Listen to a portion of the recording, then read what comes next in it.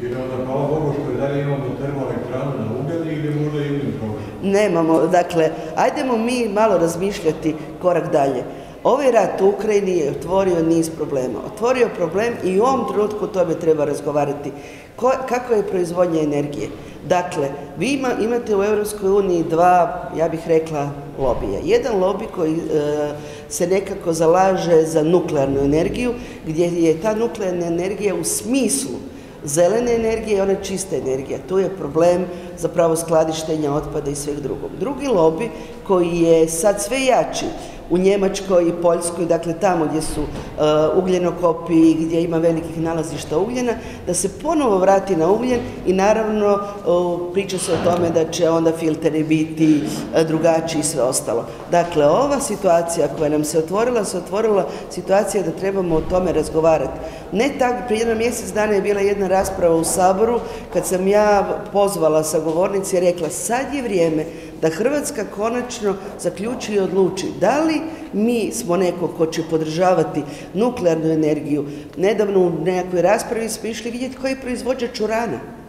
Gdje su najveće, je najveća proizvodnja urana, da se ne desi da opet je najveća proizvodnja urana u nekim drugim zemljama. Onda se ispostavilo da zaista urana ima u cijelom svijetu. Ali to su sad odluke gdje Hrvatska kao jedna od članica Europske unije, meni na to uvijek se čini da smo mi mali, ali to su nekakve odluke, sad vas, ovo vrijeme vas tjera da napravite i promislite ono što se niste pripremili dobro. Dakle, vi ste rekla da ipak imamo termoelektranu na ugljen koja nije prešla na plin. Pa, a, da, Dakle, sad, ajde da budem potpuno jasna, ne tako davno mi smo razmišljali o tome da budu elektrane na plin.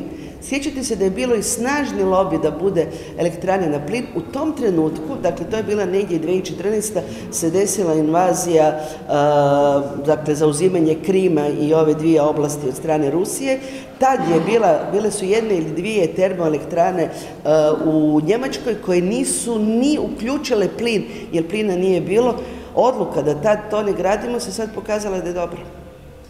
Ali zapravo smo se prije par dana, figurativno rečeno, na, u vrijeme ove nedavne energetske konferencije, velike, obvezali da ćemo ugasiti tu termoelektranu i na Dakle, e, mi dakle, imamo smisao zelenih energija. Sad je vrijeme razvijati zelene energije. Mi imamo rok zagasiti tu termoelektranu, ali ajdemo vidjeti što će biti, zato sam i namjerno spominjala ovaj jaki njemački lobby koji govori ponovo o korištenju ugljena.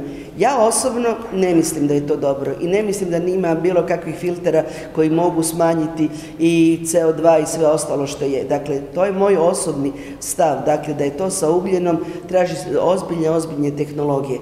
Ali sad, sad smo, Evropa, koja Evropa se dovela u situaciju bazičnih odluka, ne samo odluka koje su vezane o tome da li smo mi možda Evro, savezne države Europe, šta znači vanjska politika, šta znači obrambena politika, ali u odnosu na to što znači energetska politika. Dakle, Amerika ima svoju energetsku politiku tako jako zatvoreno, ima tako jake, jake rezerve da to nije istina. Možda je vrijeme da Europa tako promišlja.